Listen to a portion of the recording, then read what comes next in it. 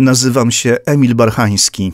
6 czerwca 1982 roku skończę 17 lat.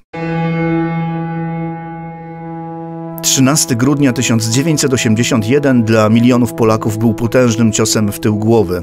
Jedni, upadłszy, zostali pojmani, inni jedynie się skulili, przykucnęli i teraz próbują nadal, choć w kuckach, poruszać się do przodu. Są też tacy, którzy upadli i choć nie zostali pojmani, trwają nadal w tej samej pozycji. Ale najsmutniejsze jest, że są też tacy, którzy zostali pojmani, ale teraz sami z ukrycia zadają takie ciosy, jakie zdążyli otrzymać wcześniej. Ja należę do tych, którzy próbują stawiać kroki do przodu nawet w trudnej pozycji, w kuckach. Niestety niedługo mogłem podejmować wraz z innymi te usilne próby. Wpadłem w sidła najzwyklejszego prowokatora, rzec by można agenta służby bezpieczeństwa. Przez niego lub dzięki niemu rozpocząłem tę 340-godzinną podróż, bardzo pouczającą, ale jakże okrutną i bolesną. Emil Barchański urodził się 6 czerwca 1965 roku w Warszawie. Zmarł 17 lat później, na trzy dni przed swoimi urodzinami. Najmłodsza ofiara stanu wojennego. 40 lat temu w Polsce wprowadzono stan wojenny. Do dziś zostały blizny. Blizny. Cykl Magdaleny Rigamonti.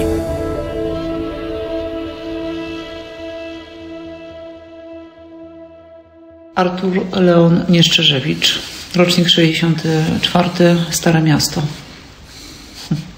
Tak się przedstawiłeś.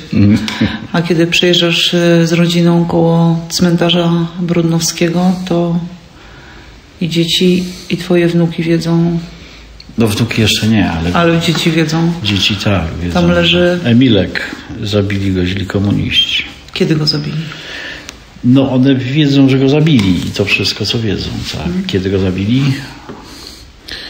No w 82 roku, w e, czerwcu chyba.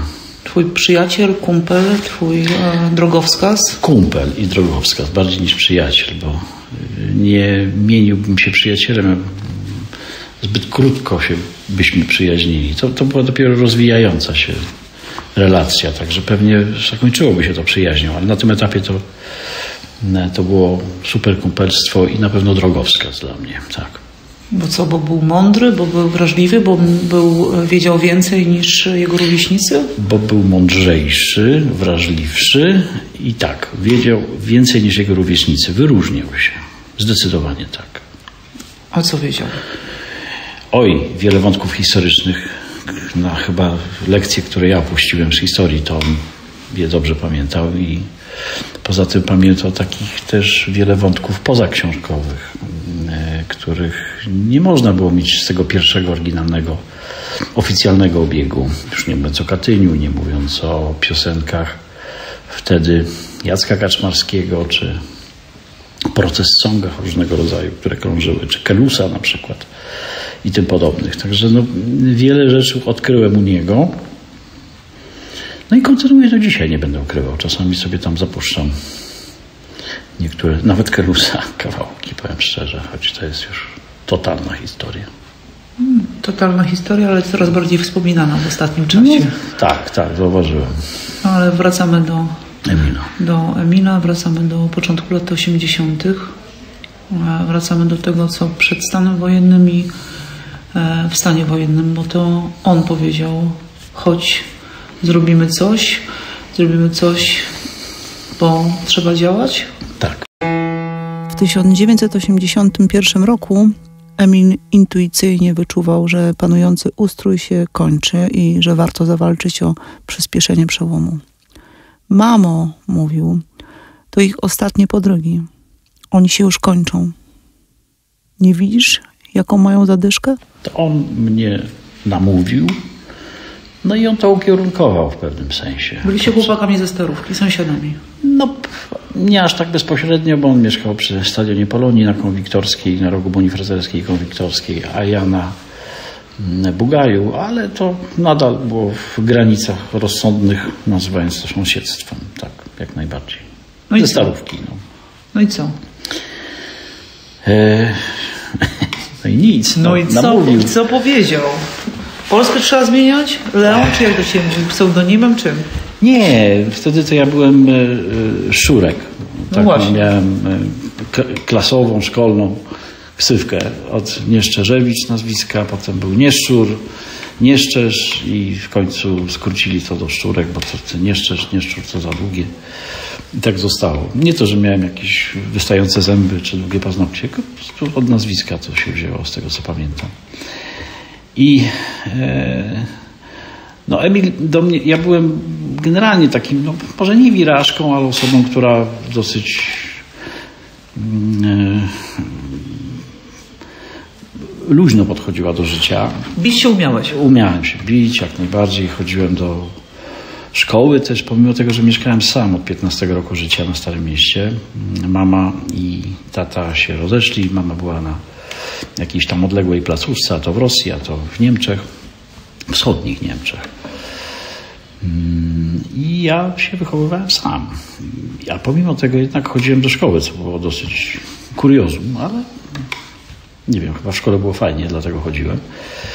No I chodziłem do tej szkoły muzycznej, do której zresztą sam się zapisałem. Poszedłem na egzaminy e, i się dostałem, bo chciałem być muzykiem, chciałem komponować.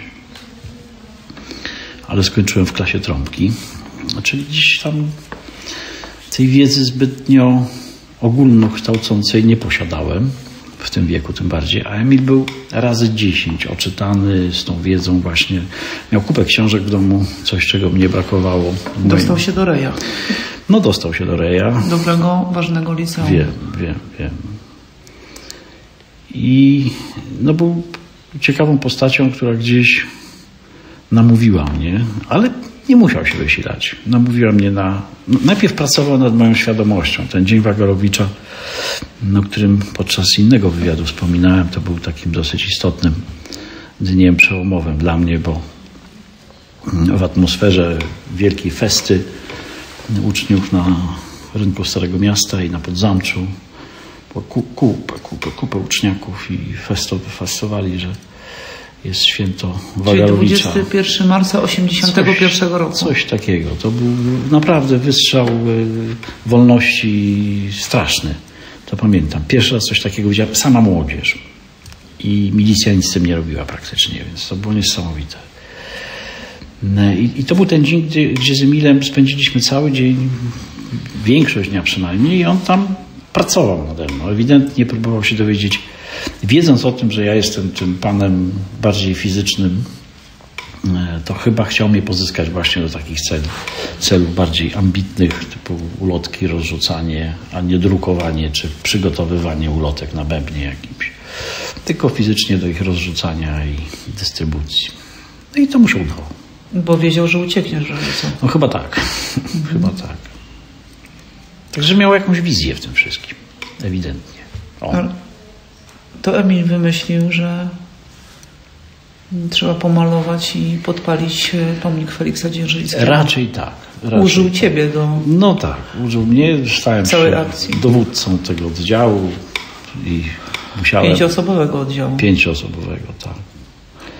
No i tym panem, który skorzystał z przyjemności rzucenia koktajlem Mołotowa. No ale szkolenia były. No. Były szkolenia. Nad Wisłą? Nad Wisłą, tak. Nad Wisłą, na Podzamczu. Tam było cicho, spokojnie, tam żeśmy sobie biegali, rzucali do celu.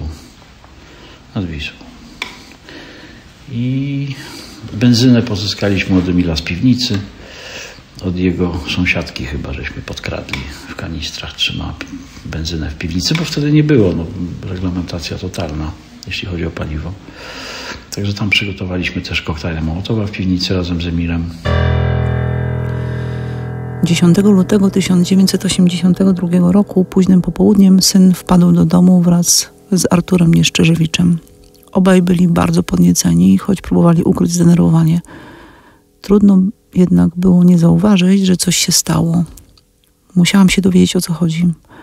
Syn powiedział mi w wielkiej tajemnicy, że odważyli się zrobić zamach na pomnik Dzierżyńskiego. Pomnik ten stał na ówczesnym placu Dzierżyńskiego, tuż pod nosem milicji, obok Pałacu Mostowskich, siedziby Głównej Komendy Milicji. Akcja odbyła się o godzinie 16. Pięciu chłopców oblało pomnik farbą, a następnie go podpaliło, doszczętnie niszcząc tablicę upamiętniającą wielkie zasługi towarzysza Dzierżyńskiego dla Polski. Chłopcy zaraz po akcji szybko się rozbiegli. Uciekali ulicą Korackiego. Reakcja milicji była natychmiastowa i niestety jednego z nich, Marka Marciniaka, złapano.